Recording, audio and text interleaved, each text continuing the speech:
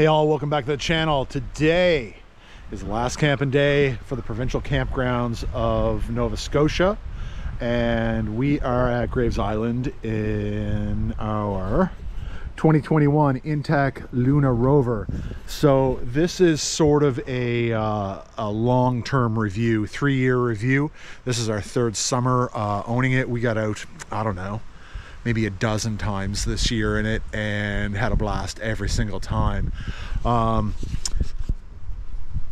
the Lunar Rover, we have had it for three years and knock on wood, we have experienced zero issues um, other than this little magnetic thing breaking off out front here. So this this broke off on the other side which is no big deal. I hit it in the garage.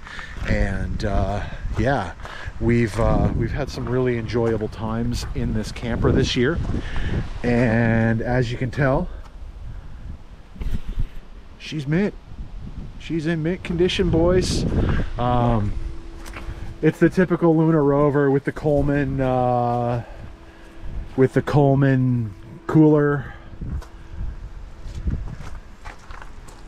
we got the gas stove here. Uh, I did a couple things.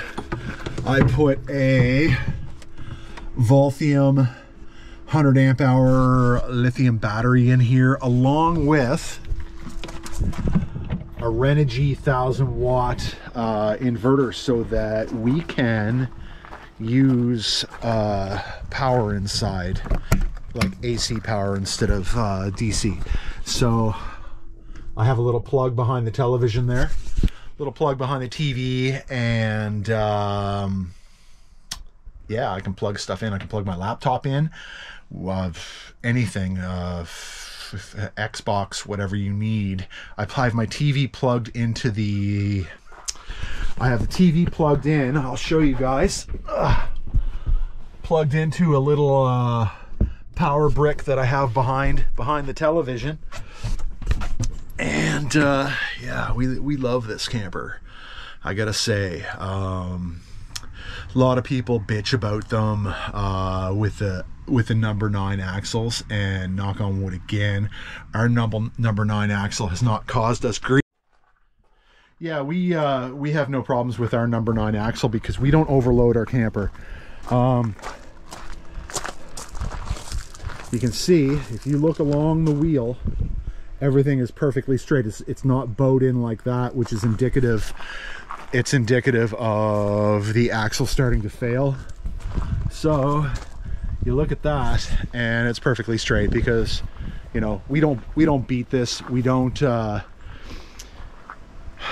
we don't overload it. That's the most important thing. These, the number nine axles, um, yeah, they're coming out with number 10. They come out with the 2023s have, uh, number 10 axles on them now so yeah. Anyway we uh, we have no problems and we probably won't. So that being said here's the once around of the camper.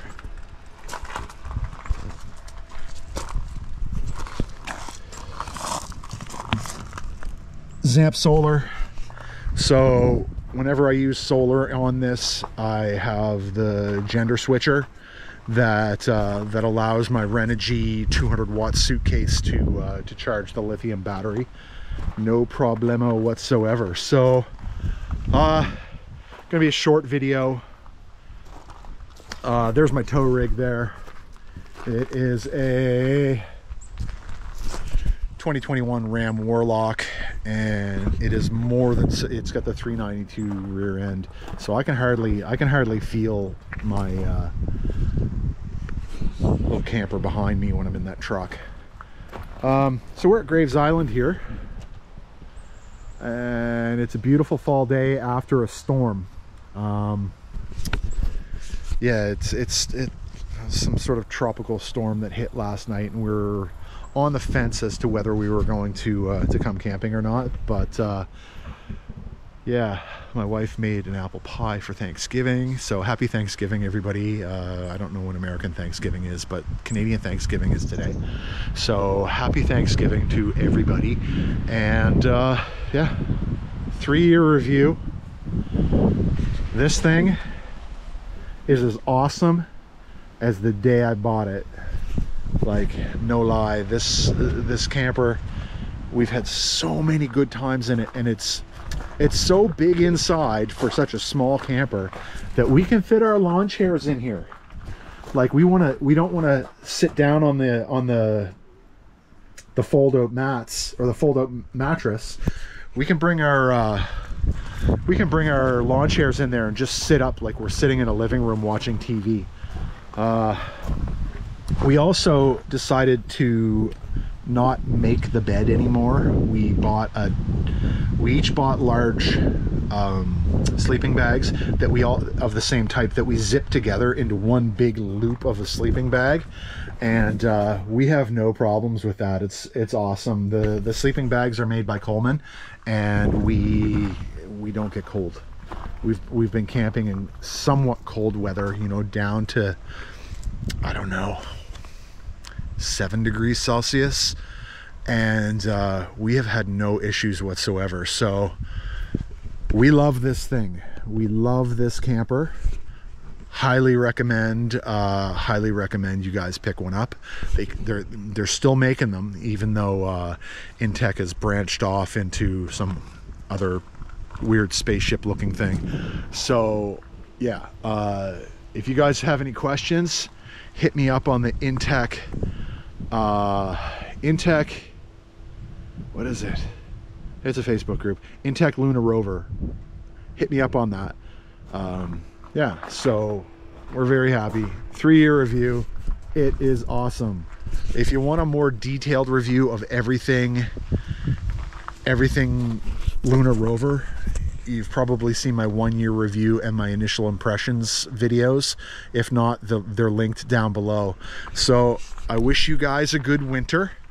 Uh, I hope you all had fun camping in your Lunar Rover or whatever campers you guys had this year. Or if you're thinking of getting a Lunar Rover, do it. It's it's amazing. It's it's top quality. It's not junk. It's not a Jayco. It's not any of the lower brands. This is premium camping.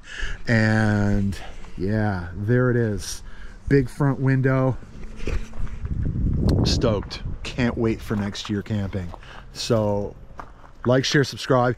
If you didn't see any of my other uh, other uh, Luna Rover videos I have everything from winterizing to installing solar to installing a uh, it, the inverter to installing the battery itself. I have a lot of install videos um, tips and tricks. So like share subscribe if you're interested in Intech lunar Rover. I'm the guy to watch. Peace